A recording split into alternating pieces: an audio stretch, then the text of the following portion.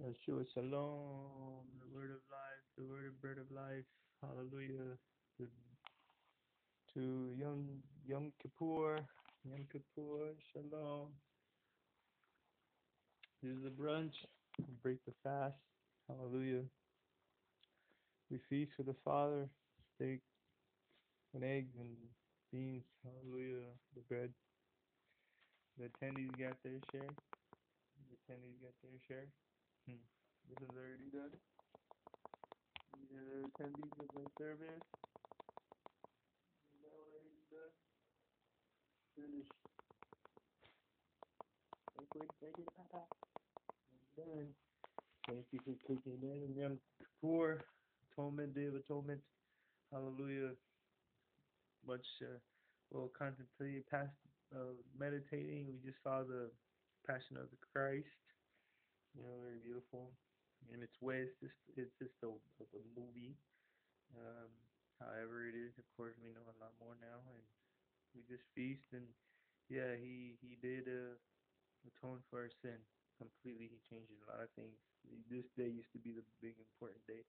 Uh, is it the right day? Is it? A lot of people celebrated different days. I do not argue uh, feast days or Sabbaths or anything. It's just the Messiah is Yom Kippur himself and I'm watching the Eloi who speaks, which is the G word, the, the G word who speaks. And uh, he speaks to the scriptures, he the bread of life. Thank you for all of this. He makes everything grow, provides for little animals. To you, are King of the universe, to be so fruit from the earth. Yeshua, you send the bread of life, for the atonement of our sins. Hallelujah, for his precious blood. Thank you for kicking in. It's the gathering and then Sukkot in five days. You know, I will always in Sukkot, but if it's not raining so bad, I'm not. You know, I'm already in temporary dwelling. So hallelujah. And uh,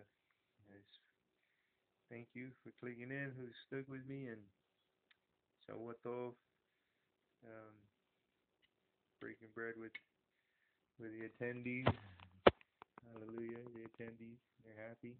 You probably already finished it, a little wobbler.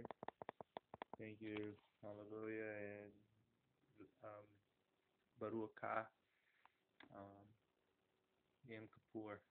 Shalom. And for your put left is John 23. Amen.